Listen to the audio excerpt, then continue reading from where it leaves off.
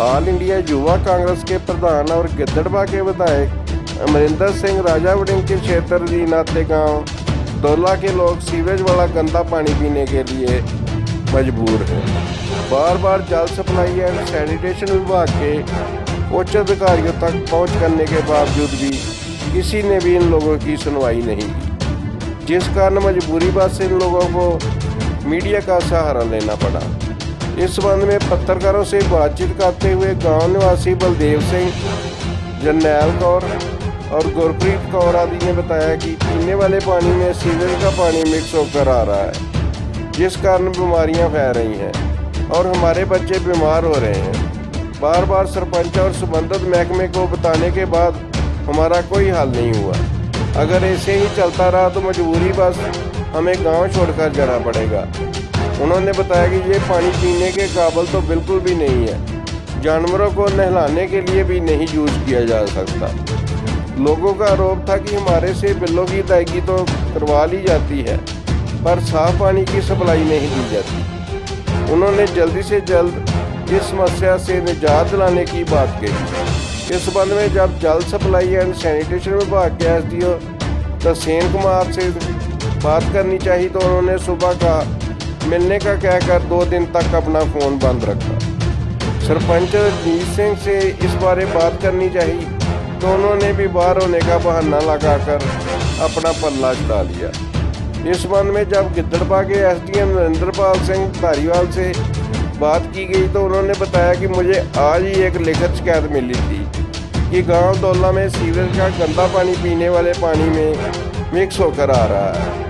इस संबंध में हमारी ओर से तहसीलदार साहब को मौके पर रिपोर्ट बनाने के लिए भेज दिया है ਬਲਦੇਵ ਸਿੰਘ ਜੀ ਬਲਦੇਵ ਸਿੰਘ ਜੀ ਕੀ ਦਿੱਕਤ ਪਰੇਸ਼ਾਨੀ ਆ ਸਾਨੂੰ ਦਿੱਕਤ ਤੇ ਇਹ ਹੈ ਜੀ ਸਾਥੋਂ ਪਹਿਲਾਂ 5-500 ਰੁਪਿਆ ਭਰਾ ਲਿਆ ਇਹਨਾਂ ਨੇ ਸਰਪੰਚ ਨੇ ਅੱਛਾ ਮੁੜ ਕੇ ਆ ਕਹਿੰਦੇ ਸੀ ਵੀ ਅਸੀਂ ਕਨੈਕਸ਼ਨ ਪਹਿਲਾਂ ਦੇਵਾਂਗੇ ਉਹਨਾਂ ਨੂੰ ਜਿਹੜੇ 5-500 ਰੁਪਿਆ ਭਰਨਗੇ ਪਹਿਲਾਂ ਭਰਾ ਲਿਆ 5-500 ਰੁਪਿਆ ਹੁਣ ਸੀਵਰਾਂ ਦੇ ਮੂੰਹ ਛੱਡ ਕੇ ਪਾਈਪਾਂ ਘਰਾਂ 'ਚ ਛੱਡਤੀਆਂ ਉਹਦੇ ਰਾਹੀਂ ਸਾਰਾ ਗੰਦ ਬਦਬੂ ਉੱਥੋਂ ਦੀ ਬਾਹਰ ਚ ਮਾਰੀ ਜਾਂਦੀ ਹੈ। ਉਹ ਅਸੀਂ ਕਦੇ ਕੁਛ ਲਾਉਣੇ ਆ, ਕਦੇ ਗੱਟਾ ਲਾਉਣੇ ਆ, ਕਦੇ ਕੁਛ ਲਾਉਣੇ ਆ।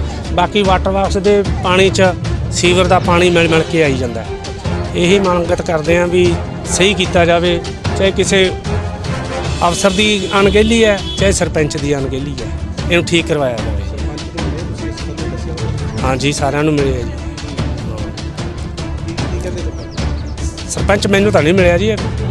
ਹਾਂ, ਇਹ ਬੁੜੀਆਂ ਗਈਆਂ ਸੀ। ਜਰਨੈਲ ਕਰ। ਕਿ ਪਾਣੀ ਦੀ ਦਿੱਕਤ ਹੈ ਮਿਲ ਕੇ ਆਉਂਦਾ ਪਾਣੀ ਇਹਦੇ ਨਾਲ, ਟੂਟੀ ਦੇ ਪਾਣੀ ਨਾਲ। ਜਦੋਂ ਅਸੀਂ ਟੂਟੀ ਦਾ ਭਰਦੇ ਇਹਦੇ ਨਾਲ ਹੀ ਆਉਂਦਾ ਪਾਣੀ ਇਹ ਵਿੱਚ, ਗੰਦਾ ਪਾਣੀ। ਤੇ ਬੈਲੇ ਰੋਜ਼ ਆ ਕੇ ਖੜ ਜਾਂਦਾ ਸਾਡੇ ਸਰਾਣੇ। ਅਸੀਂ ਆਦਾ ਰੋਟੀਆਂ ਦਾ ਪੂਰਾ ਕਰਕੇ ਕਿ ਇਹਦਾ ਪੂਰਾ ਕਰਗੇ ਸਾਥੋਂ ਪੂਰਾ ਨਹੀਂ ਆਉਂਦਾ ਕਿਸੇ ਪਾਸੇ। ਹਾਂ। ਹਾਂ, ਅਸੀਂ ਮਿਲ ਗਏ। ਅਫਸਰਾਂ ਤੱਕ ਸਾਨੂੰ ਹਾਲੇ ਨਿਆਂ ਨਹੀਂ ਦਿੱਤਾ। ਅਫਸਰਾਂ ਨੇ ਅੱਜ ਦੇ ਦੇਣਗੇ ਅਫਸਰ ਵੀ ਗਾਹ ਤੋਂ। ਹਾਂ, ਰਾਜੇ ਵੜਾਂਗੇ ਤੱਕ ਵੀ ਤਲਾਹ ਜਾਊਗੀ। ਹਾਂ। ਤੇ ਇਹ ਸਾਨੂੰ ਗੱਲ ਨਹੀਂ ਕਰਨ ਦਿੰਦਾ। ਜਦੋਂ ਅਸੀਂ ਆਖਦੇ ਨੇ ਨਾ, ਸਾਨੂੰ ਗੱਲ ਨਹੀਂ ਕਰਨ ਦਿੰਦਾ ਪੂਰੇ ਅਗਲੇ ਸਰਪੰਚ ਜਿਹੜੇ ਬਣੇ ਆ, ਹਾਂ। ਉਹਦੇ ਆਖ ਦਿੰਦੇ ਅਸੀਂ ਤਾਂ ਪਾਣੀ ਆ ਸੀਵਰ ਦਾ ਜਦੋਂ ਲਾਤਾ, ਤੇ ਉਹਦੇ ਸਾਡੇ ਘਰਾਂ 'ਚ ਪਾਣੀ ਅੜ ਪਾਤਾ ਜੇ ਅਸੀਂ ਗਰੀਬ ਆ ਤਾਂ ਅਸੀਂ ਗੂਹ ਤਾਂ ਨਹੀਂ ਖਾਣਾ ਲੋਕਾਂ ਦਾ। ਹਾਂ, ਵੀ ਅਸੀਂ ਗੂੰ ਖਾਣਾ ਲੋਕਾਂ ਦਾ ਕੀ ਕੁਛ ਪਾਇਆ ਸਾਨੂੰ? ਅਸੀਂ ਨਾ ਪੀਣ ਜੋਗਰੇ ਨਾ ਡੋਲਣ ਜੋਗਰੇ ਸਾਡੇ ਜਵਾਕਾਂ ਦੇ ਕੋਟ ਕੋਟ ਸਾਡੇ ਘਰੇ ਬੰਦਲਾ ਤੇ ਜਵਾਕ। ਅੱਜ ਤਾਂ ਪਿੰਡ ਚੋਂ ਨਿਕਲਣ ਵਾਲੇ ਕਰ ਛੱਡੇ ਇਹਨਾਂ ਨੇ। ਸੀਵਰ ਦਾ ਪਾਣੀ ਕਿੱਥੋਂ ਵਰਤਾਂਗੇ ਸੀ ਦੱਸਣ ਕੇ ਆਪ ਵਰਤ ਲਾਂ ਜਿਨ੍ਹਾਂ ਨੇ ਸੀਵਰ ਲਾਇਆ। ਹਾਂ ਇਹ ਬਿੱਲ ਨਹੀਂ ਭਰਦੇ ਤਾਂ ਅਸੀਂ ਕਈਆਂ ਦਾ ਲੈ ਕੇ ਤਾਂ ਸਾਡੇ ਘਰੇ ਆ ਵਰਦੇ ਇਹ ਰੋਜ਼। ਅਸੀਂ ਸਾਨੂੰ ਸੀਵਰ ਦਾ ਪਾਣੀ ਪਿਆਉਣਾ ਇਹਨਾਂ ਨੇ ਗੰਦ ਲਿਆ ਕੇ ਸਾਡੇ ਮੱਥੇ ਮਾਰਿਆ ਇਹਨਾਂ ਨੇ ਤੇ ਗੰਦ ਸਾਨੂੰ ਪਿਆਉਣਾ। ਕਿੰਨਾ ਦੀ ਗਲਤੀ ਕਿੰਨਾ ਦੀ ਹੈ? ਜਿਹੜੇ ਜਿਨ੍ਹਾਂ ਨੇ ਲਾਇਆ ਹੋਰ ਅਸੀਂ ਅਸੀਂ ਕਿਹੜਾ ਸੀਵਰ ਲਿਆਂਦਾ? ਹਾਂ ਅਫਸਰਾਂ ਦੀ ਗਲਤੀ ਹੈ ਜਿਨ੍ਹਾਂ ਨੇ ਲਾਇਆ ਅਸੀਂ ਕਿਹੜਾ ਲਾਉਣ ਲੱਗੀਆਂ ਬੁੜੀਆਂ? ਹਾਂ ਬਾਰਡਰ ਬਾਕਸਾਂ ਦੀ ਗਲਤੀ ਨਹੀਂ ਬਾਰਡਰ ਬਾਕਸ ਵੇਖੋ ਬਈ ਆ ਕੇ ਸਾਰੇ। ਚਲੋ ਬਣੇ ਤਣੇ ਚਲੋ। ਉਹ ਬਾਰਡਰ ਬਾਕਸ ਸਵਾਰਨ ਵਾਲਾ ਪਿਆ। ਹਾਂ। ਤੇ ਪਹਿਲੇ ਤਾਂ ਗੰਦ ਨਾ ਖਲਿਆ ਰੋ ਸੀ 20 ਦਿਨ ਮਹੀਨਾ ਸੀ ਉੱਥੇ ਲੰਕਦੀਆਂ ਰਹੀਆਂ ਤੇ ਅਸੀਂ ਸਵਾਰ ਕੇ ਤਾਂ ਤੁਸੀਂ ਵੇਖੋ ਗੰਦ ਕਿੰਨਾ ਕਿ ਲਿਕਦਾ ਤੇ ਬਾਰਡਰ ਵਾਸਤੇ ਚੱਲ ਕੇ ਸਾਡੇ ਨਾਲ। ਅਸੀਂ ਨਾਲ ਚੱਲਾਂਗੀਆਂ। ਹਾਂ।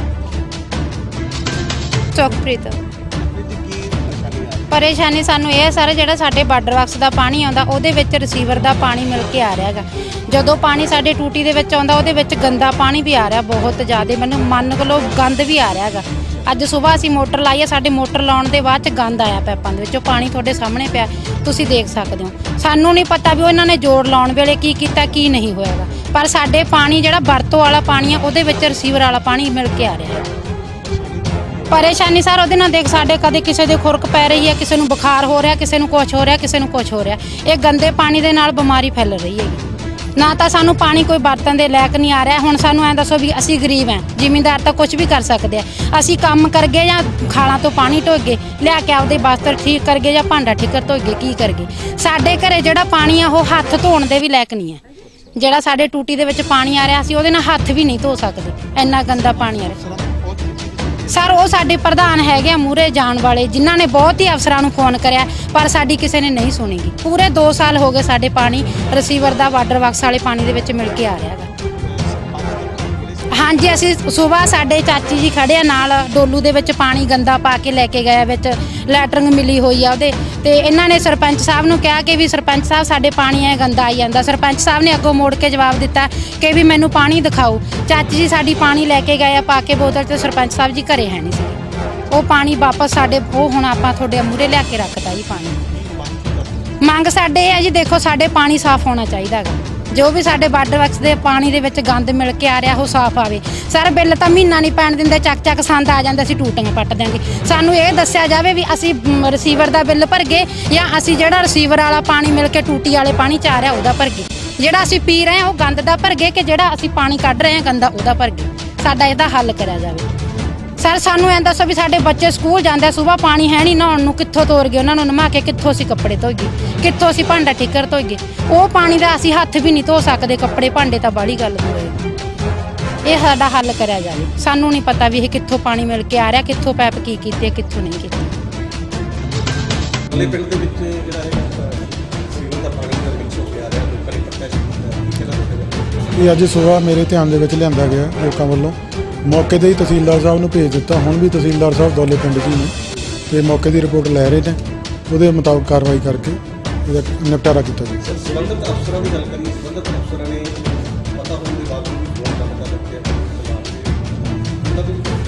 ਉਹਨਾਂ ਦੇ ਬਿਲਕੁਲ ਕਾਰਵਾਈ ਬਾਰੇ ਸੈਕਟਰੀ ਸਾਹਿਬ ਨੂੰ ਲਿਖਿਆ ਜਾਏਗਾ ਥਰੂ ਡਿਪਟੀ ਕਮਿਸ਼ਨਰ ਜੋ ਵੀ ਜ਼ਿੰਮੇਵਾਰ ਹੋਵੇਗਾ ਮੁਕਤ ਦੇ ਵਿੱਚ ਆ ਜੇਕਰ ਪਾਣੀ ਨਦੀ ਨਾਲਾ ਦੇ ਵਿੱਚ ਜਿਹੜੇ ਅਫਸਰ ਜਿਹੜੇ ਦੇ ਵਿੱਚ ਇਨਵੋਲਵ ਹੈਗੇ ਆਫੀਸਰ ਦੀ ਰਿਪੋਰਟ ਬਕਾਇਦਾ ਬਣਾ ਕੇ ਥਰੂ ਡਿਪਟੀ ਕਮਿਸ਼ਨਰ ਉਹਨਾਂ ਦੇ ਸੈਕਟਰੀ ਸਾਹਿਬ ਨੂੰ ਭੇਜਾਂਗੇ ਤੇ ਉਹਨਾਂ ਤੇ ਸਖਤ ਤੋਂ ਸਖਤ ਕਾਰਵਾਈ ਕੀਤੀ ਜਾਵੇ ਤਾਂ ਕਿ ਲੋਕਾਂ ਨੂੰ ਜੋ ਸਾਡੇ ਵੱਲੋਂ ਮੁੱਢਲੀਆਂ ਸਹੂਲਤਾਂ ਦਿੱਤੀਆਂ ਜਾਂਦੀਆਂ, ਉਹ ਜਾਰੀ ਰਹੇ।